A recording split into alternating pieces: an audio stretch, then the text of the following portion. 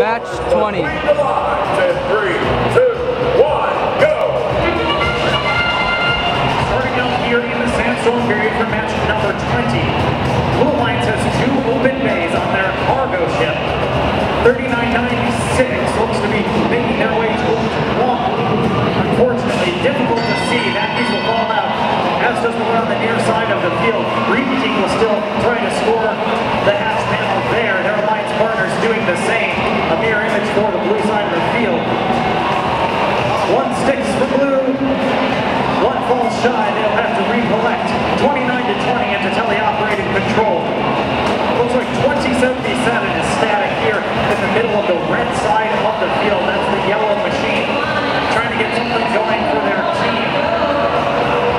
Hopefully they'll be able to troubleshoot that before the end of the match. 1403 making a dash for the cargo ship. 65-90 won the Panther power machine.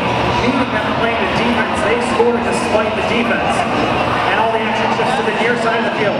All three blue machines, one scoring in the cargo ship, one playing the defense.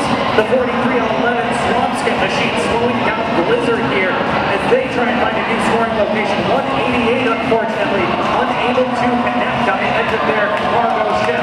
They recollect on the far side of the field. Swampscott chases after. 1403 back with a piece of cargo, meeting that defense once again from Rex. 1403 maneuvering themselves around to the very edge of that cargo ship.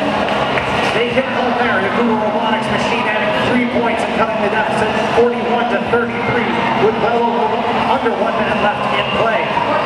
Red Alliance now adding their second piece of cargo to the cargo ship. Blue Alliance working hard on this cargo ship. They have five pieces out of eight inside.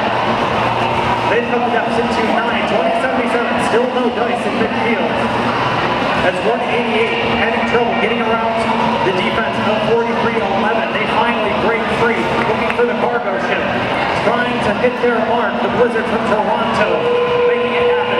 Blue has cut the deficit within four points. 20 seconds left now. As robots start moving into their end game strategies, making their way back towards the habitat.